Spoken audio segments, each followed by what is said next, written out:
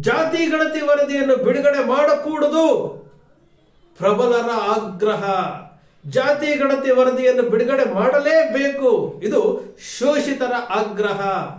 ಚಿತ್ರದುರ್ಗದಲ್ಲಿ ನಾಳೆ ನಡೆಯುತ್ತಿರುವಂತಹ ಶೋಷಿತರ ಸಮಾವೇಶದಲ್ಲಿ ಸ್ವತಃ ಮುಖ್ಯಮಂತ್ರಿಗಳು ಭಾಗವಹಿಸ್ತಾ ಇದ್ದಾರೆ.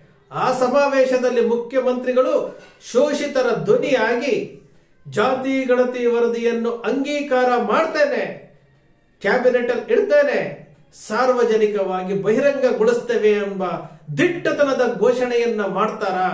ಮಾಡಲೇಬೇಕೆಂಬ ಆಗ್ರಹ ನಿಮ್ಮ ಅಕ್ಷರ ಮೀಡಿಯಾದ್ದು. ಜಾತಿ ಗಣತಿಯ ವರದಿ, ಇನ್ನೇನು ಸೋಮವಾರ ಸರ್ಕಾರದ ಕೈ ಸೇರಲಿದೆ. ಇದೇ ಸೋಮವಾರ ಮುಖ್ಯಮಂತ್ರಿಗಳಿಗೆ ಜಯಪ್ರಕಾಶ್ ಹೆಗಡೆ ಅವರು ಹಿಂದುಳಿದ ವರ್ಗದ ಆಯೋಗದ ಅಧ್ಯಕ್ಷರಾದಂತಹ ಜಯಪ್ರಕಾಶ್ ಹೆಗಡೆಯವರ ಅವಧಿ ಮೂವತ್ತೊಂದಕ್ಕೆ ಮುಗಿತಾ ಇದೆ. ಜನವರಿ ಮೂವತ್ತೊಂದಕ್ಕೆ ಮುಗಿತಾ ಇದೆ. ಆ ವರದಿಯನ್ನ ಸರ್ಕಾರಕ್ಕೆ ಸಲ್ಲಿಸ್ತೇವೆ ಅಂತ ಹೇಳಿದ್ದಾರೆ. ಜಾತಿ ಗಣತಿ, ಸಾಮಾಜಿಕ, ಶೈಕ್ಷಣಿಕ, ಆರ್ಥಿಕ ಮತ್ತು ಜಾತಿ ಗಣತಿಯ ವರದಿ ಏನು ನೂರ ಅರವತ್ತೈದು ಕೋಟಿ ರೂಪಾಯಿಗಳನ್ನ ಖರ್ಚು ಮಾಡಿ ಎರಡು ಸಾವಿರದ ಹದಿನಾಲ್ಕರಲ್ಲಿ ಏನ್ ಮಾಡಿದ್ರು? ಹತ್ತು ವರ್ಷಗಳ ನಂತರ ಈಗ ಸರ್ಕಾರಕ್ಕೆ ಸಲ್ಲಿಕೆ ಮಾಡ್ತಾ ಇದ್ದಾರೆ. ಜಾತಿ ಗಣತಿ ವರದಿಯನ್ನು ಬಿಡುಗಡೆ ಮಾಡಬಾರದು ಅಂತೇಳಿ. ಪ್ರಬಲ ಸಮುದಾಯಗಳು ಈಗಾಗಲೇ ನಿರ್ಣಯವನ್ನ ಕೈಗೊಂಡು ಸರ್ಕಾರಗಳಿಗೆ ಅವರು ನಿರ್ಣಯಗಳನ್ನ ಸಲ್ಲಿಸಿದ್ದಾರೆ. ಅದೇ ರೀತಿ ಈ ಶೋಷಿತ ವರ್ಗಗಳು ಏನಿದಾವೆ? ಸುಮಾರು ಎಂಬತ್ತೈದು ಪರ್ಸೆಂಟ್ ಇರುವಂತಹ ಅಲ್ಪಸಂಖ್ಯಾತ ಹಿಂದುಳಿದ ದಲಿತ ವರ್ಗಗಳು ಶೋಷಿತ ವರ್ಗಗಳು ಅಂತ ನಾವೇನ್ ಹೇಳ್ತೀವಿ. ಈ ಶೋಷಿತ ವರ್ಗಗಳು ಸಹ ಸರ್ಕಾರಕ್ಕೆ, ಮುಖ್ಯಮಂತ್ರಿಗಳಿಗೆ ಜಾತಿ, ಗಣತಿ, ವರದಿಯನ್ನ ಬಿಡುಗಡೆ ಮಾಡಲೇಬೇಕು ಅಂತೇಳಿ ಖಚಿತವಾಗಿ ನಿರ್ಣಯಗಳನ್ನ ತೆಗೆದುಕೊಂಡು ಸರ್ಕಾರಕ್ಕೆ ಕೊಟ್ಟಿದ್ದಾರೆ, ಮುಖ್ಯಮಂತ್ರಿಗಳಿಗೂ ಕೊಟ್ಟಿದ್ದಾರೆ. ಚಿತ್ರದುರ್ಗದಲ್ಲಿ ಏನು ನಾಳೆ ಒಂದು ಬೃಹತ್ತಾದಂತಹ ಶೋಷಿತರ ಸಮಾವೇಶ ನಡೀತಾ ಇದೆ. ಇಲ್ಲಿ ಹಕ್ಕುಗಳಿಗೋಸ್ಕರ ಹೋರಾಟ ಮಾಡ್ತಾ ಇದ್ದಾರೆ. ಸ್ವತಂತ್ರ ಒಂದು ಎಪ್ಪತ್ತೈದು ವರ್ಷ ಆದರೂ ಸಹ ಶೋಷಿತರು ಇವತ್ತಿಗೂ ಸಹ ತಮ್ಮ ಹಕ್ಕುಗಳಿಗೋಸ್ಕರ ಹೋರಾಟ ಮಾಡ್ತಾ ಇದ್ದಾರೆ ಅಂತಂದ್ರೆ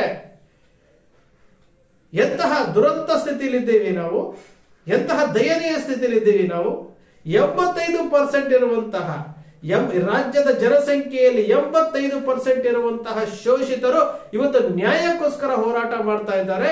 ಏನು ಎರಡು ಸಾವಿರದ ಹದಿನಾಲ್ಕರಲ್ಲಿ ಜಾತಿ ಗಣತಿಯಾಗಿ ಹತ್ತು ವರ್ಷಗಳ ಕಾಲ ಅದನ್ನ ಒಂದೇ ಕಡೆ ಇಟ್ಟು ಆ ಜನರ ತೆರಿಗೆ ಹಣ ವೇಸ್ಟ್ ಆಯ್ತು. ಆ ಜಾತಿ ಗಣತಿ ವರದಿಯನ್ನ ಬಿಡುಗಡೆ ಮಾಡೋದಕ್ಕೆ ವಿರೋಧ ಆಗ್ತಾ ಇದೆ ಅಂತಂದ್ರೆ ಈ ಶೋಷಿತ ವರ್ಗಗಳು ಎಷ್ಟೊಂದು ಕೆಳಮಟ್ಟಕ್ಕೆ ಹೋಗ್ತಾ ಇದ್ದಾವೆ, ಯಾ ಕೆಳಮಟ್ಟಕ್ಕೆ ಇಟ್ಟಿದ್ದಾರೆ ಇವರನ್ನ ಎಲ್ಲರೂ ಸಹ ತಮ್ಮ ಸಂಖ್ಯೆಗಳನ್ನ ತಿಳ್ಕೊಳ್ಳೋದಕ್ಕೆ ಎಲ್ಲರಿಗೂ ಹಕ್ಕಿದೆ. ಹಾಗಾದ್ರೆ ಜಾತಿ ಗಣತಿ ವರದಿ ಮಾಡಬೇಕಾದ್ರೆ, ಅರ್ಥಾತ್ ಸಾಮಾಜಿಕ, ಶೈಕ್ಷಣಿಕ ಮತ್ತು ಆರ್ಥಿಕ ಏನು ಗಣತಿ ಮಾಡಬೇಕಾದ್ರೆ, ಅದನ್ನ ವಿರೋಧ ಮಾಡಲಿಲ್ಲ ಯಾರನ್ನು? ಅವಾಗ ಎಲ್ಲ ಬರ್ಸಿದ್ರು. ಈಗ ಹತ್ತು ವರ್ಷಗಳ ನಂತರ ಅದನ್ನ ವಿರೋಧ ಮಾಡ್ತಾರೆ ಅಂತಂದ್ರೆ ಅದರ ಹಿಂದೆ ಹಿಂದೆ ಏನಿದೆ? ಇದನ್ನ ನಾವು ತಿಳ್ಕೊಳ್ಬೇಕಾಗುತ್ತೆ. ನೂರ ಅರವತ್ತೈದು ಕೋಟಿ ರೂಪಾಯಿ ವ್ಯರ್ಥ ಆಗಿದೆ. ಆ ವ್ಯರ್ಥ ಆಗೋದಕ್ಕೆ ಬಿಡಬಾರ್ದು. ಈಗ ಮುಖ್ಯಮಂತ್ರಿಗಳು ಅವತ್ತು ಎರಡ್ ಸಾವಿರದ ಹದಿನಾಲ್ಕರಲ್ಲಿ ಏನು ಆದೇಶ ಮಾಡಿ ಜಾತಿ ಗಣತಿ ವರದಿಯನ್ನ ಆದೇಶ ಮಾಡಿ ಮಾಡಿದ್ರೋ ಅದೇ ಮುಖ್ಯಮಂತ್ರಿ ಇವತ್ತು. ಮತ್ತೊಮ್ಮೆ ಮುಖ್ಯಮಂತ್ರಿ ಆಗಿದ್ದಾರೆ. ಅವರ ಕೈ ಸೇರಲಿದೆ. ತಡ ಮಾಡದೆ ಆ ಜಾತಿ ಗಣತಿ ವರದಿಯನ್ನ ಕ್ಯಾಬಿನೆಟ್ ಅಲ್ಲಿ ಇಟ್ಟು ಅದನ್ನ ಏನು ಬಡ್ಜೆಟ್ ಅಧಿವೇಶನ ನಡೀತಾ ಇದೆ. ಫೆಬ್ರವರಿ ಹದಿನಾರರಿಂದ ಆ ಅಧಿವೇಶನದಲ್ಲಿ ಮಂಡನೆ ಮಾಡಿ ಸಾರ್ವಜನಿಕಗೊಳಿಸ್ತಾರಾ? ಈ ಪ್ರಶ್ನೆ ನಮಗೆ ಕಾಡುತ್ತೆ ಉಳಿಸ್ಲೇಬೇಕು. ಈ ಶೋಷಿತ ವರ್ಗಗಳಿಗೆ ನ್ಯಾಯ ಸಿಗಲೇಬೇಕು.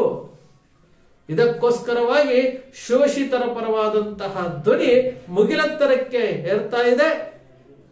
ಈ ಶೋಷಿತ ವರ್ಗಗಳು ತಮಗೆ ಸಿಗಬೇಕಾದಂತಹ ಹಕ್ಕುಗಳಿಗೋಸ್ಕರವಾಗಿ ಹೋರಾಟ ಮಾಡ್ತಾ ಇದ್ದಾರೆ.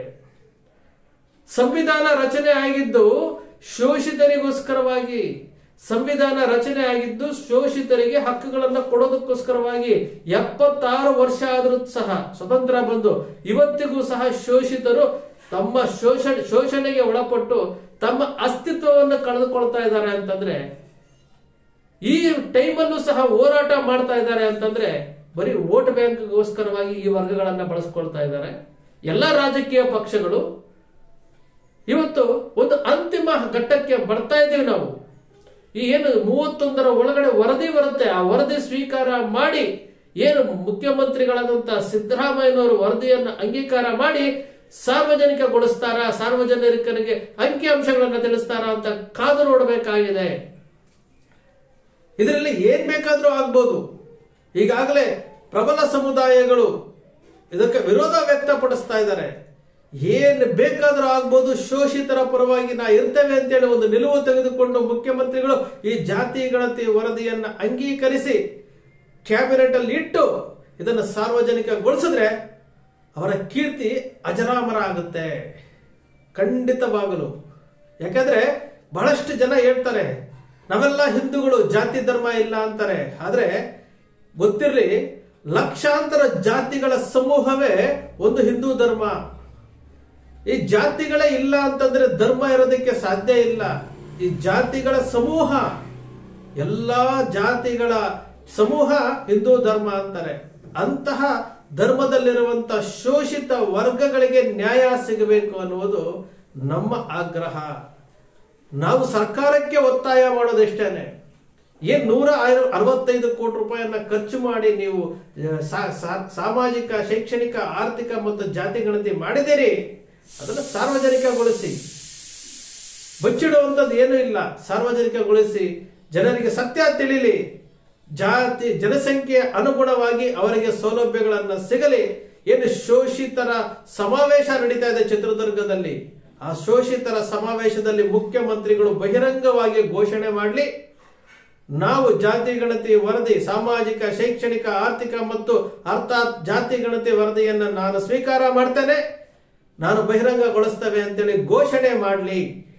ಇದು ನಿಮ್ಮ ಅಕ್ಷರ ಮೀಡಿಯಾ ಮುಖ್ಯಮಂತ್ರಿಗಳಲ್ಲಿ ಮನವಿ ಮಾಡಿಕೊಳ್ಳುತ್ತೆ. ನಿಮ್ಮ ಅಕ್ಷರ ಮೀಡಿಯಾ ಯಾವತ್ತು ಶೋಷಿತರ ಪರವಾದಂತ ದನಿಯಾಗಿರುತ್ತೆ ಅನ್ಯಾಯ ಆಗ್ತಾ ಇದೆ ಅಂತಂದಾಗ ದನಿ ಆಗುತ್ತೆ. ಅದು ಯಾವುದೇ ವಿಚಾರ ಇರ್ಬೋದು ಎಲ್ಲೂ ಸಹ ಯಾರನ್ನು ಓಲೈಸುವಂತ ಕೆಲಸ ನಿಮ್ಮ ಅಕ್ಷರ ಮೀಡಿಯಾ ಮಾಡ್ತಾ ಇಲ್ಲ.